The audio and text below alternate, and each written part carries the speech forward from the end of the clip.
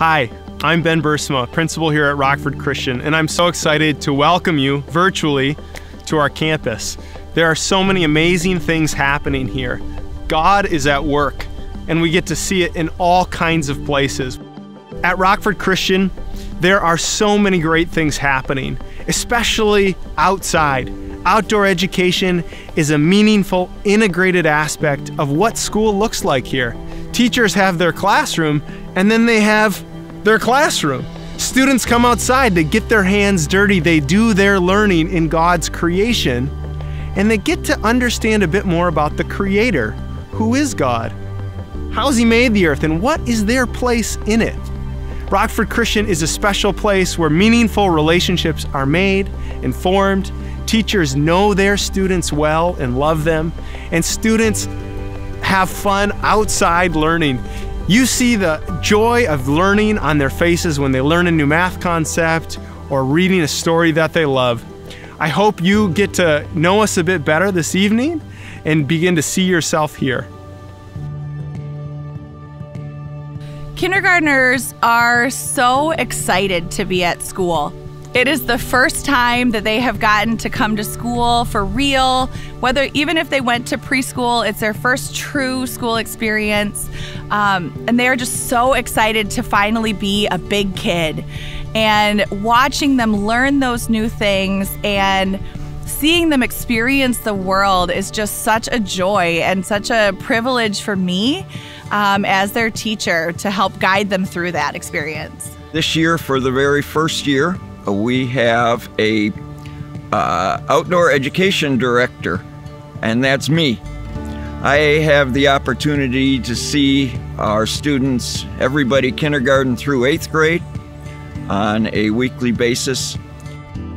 Nature based education really isn't anything new, it's old. I mean, 150 years ago, kids were outside all the time, working in the fields or playing in the creeks we have our kindergarteners doing things like um, trying to build a bird's nest with your hands and then beginning to understand the amazing skill that God has given birds to build nests because we couldn't do it. Playing on that curiosity and continuing to enhance that, allowing them to see that curiosity is a good thing and it really motivates learning. Kindergarten at Rockford is such an awesome place to be. Uh, the kids are learning independence. Um, every morning we do the same kind of routine in order to help them learn um, a schedule and to feel really comfortable in what they're doing every day. Literacy is a huge part of kindergarten. We start off really developing a love of reading, and the kids are readers from day one because they can look at the pictures and tell themselves a story. And as we learn how to read words, they can become lifelong readers. I'm Jenny Pullman, and I teach here at Rockford Christian. I teach grades K through 8, and I really love to focus on music and movement in grades K through 3. And then in the instrumental program, we start recorders in the fourth grade, and I teach band through the eighth grade. We always start with the basics, like I said, movement and controlling ourselves. And then we launch into all the aspects of music and we interweave that throughout through each grade and we learn more difficult things in each grade so that by the time you're in fourth grade you're reading musics you're reading notes you're reading rhythms we're learning not only things about music but we're learning things about ourselves Kindergarteners do music twice a week for a half an hour. We work on a lot of spatial awareness, a lot of locomotor movements, so that would be hopping, skipping, and jumping. We will work on a lot of base skills of catching and kicking um, so that we can progress and build on all of those skills so that by the time they're in fifth grade, we're, we're playing mostly sports and um, able to play a lot of games. I'm always in constant communication with the other teachers. We're always talking about the needs of different students and, and how I and we can best serve those students. In kindergarten Spanish, we really focus on colors and greetings and numbers. We also focus on the alphabet and different vocab within the alphabet.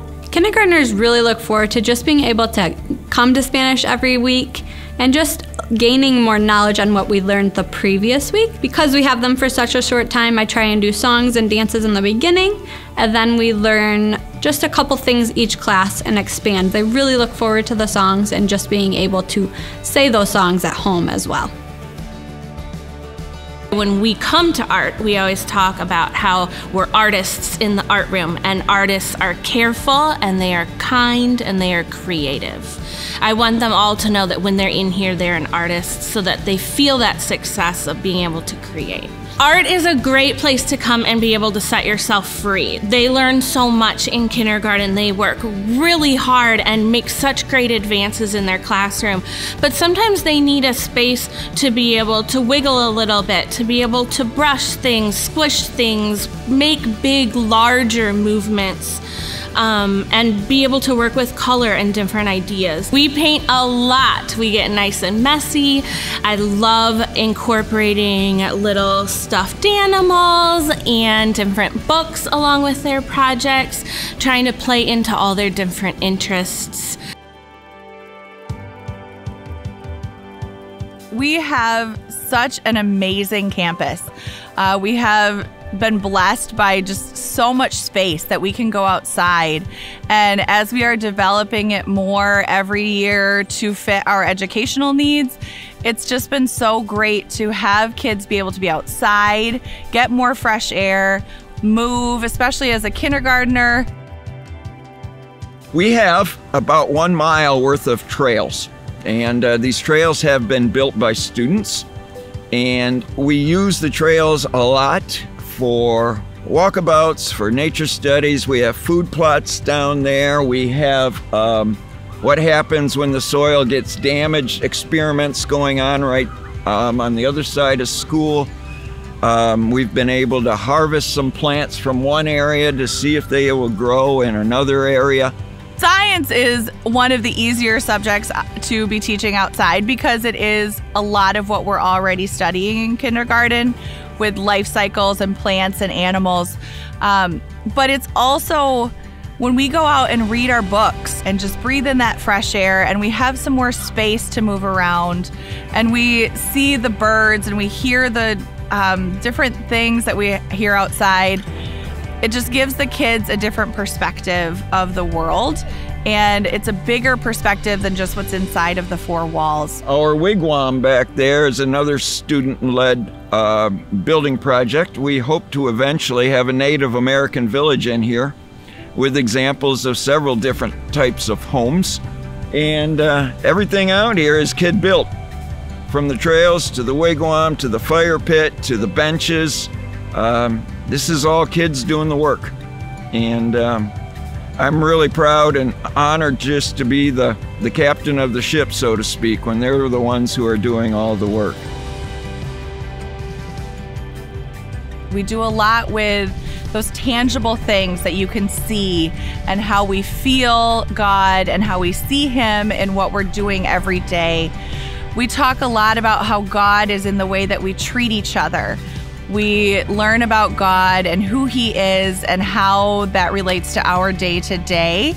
Um, we, especially here, we learn a lot about how God is part of the world that He has created and how we fit into that as well. We have a wonderful partnership with Camp Roger. We go there several times a year and work with their um, education program there. And again, they do a phenomenal job of incorporating how God has created this world.